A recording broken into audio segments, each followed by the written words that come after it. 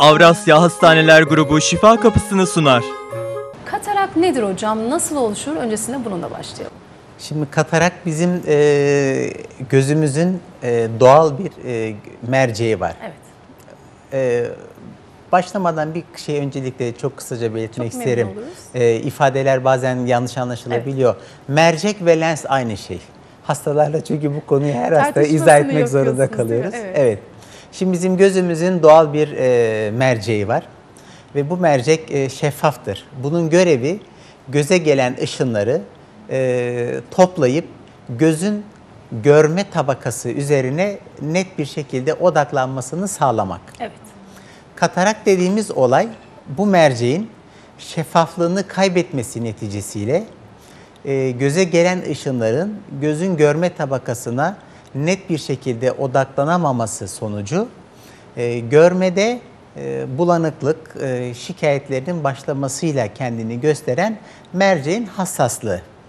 Bir camın buzlu cama dönmesi gibi e, katarakta da şeffaf olan mercek şeffaflığını kaybeder, gittikçe buzlu cam gibi bir görüntü alır ve nasıl ki buzlu camın arkasından güzel göremeyiz, Evet.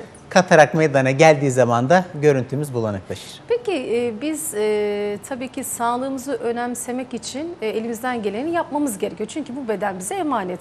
Evet. Ama tabii göz sağlığında da bu e, direkt ilk sinyalleri verdiğinde mi gelen hasta grubunun çoğunluğunu taşıyor ya Evet. da son noktada mı geliyorlar? Katarakla ilgili şikayetlerini anlat. Şimdi şöyle e, göz e, hastalıklarının e, büyük bir kısmı genellikle e, çok erken e, bulgu verir. Evet. Neden erken bulgu verir? Çünkü göz bizim hayatla direkt temasımızı sağlayan bir organımız.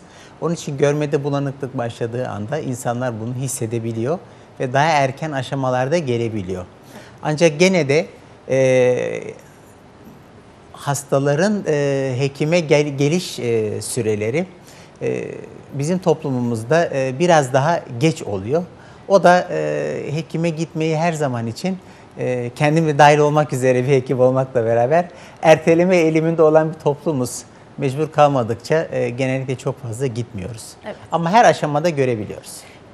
E, yaş hastalığıyla bağlantılı mıdır? Yani yaşın önemi var mıdır? E, özellikle biz yaşlılık hastalığı diye orta yaş grubundan sonrasında duyarız ama bunun gerçek Evet. cevabını sizden dinleyelim. Şimdi şöyle katarakt her yaşta yani e, 7'den 70'e demeyeceğim 0'dan 70'e e, her yaşta görülebilen bir hastalıktır. Ancak genel olarak bütün hastalıklarda olduğu gibi ya da birçok hastalıkta olduğu gibi e, 50-60 yaşından sonra e, daha sık gözüküyor. E, sıklığı artıyor. Yaşla beraber daha fazla gözükmeye başlıyor.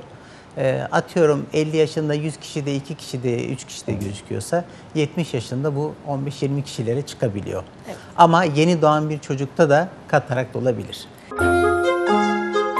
Avrasya Hastaneler Grubu şifa kapısını sundu.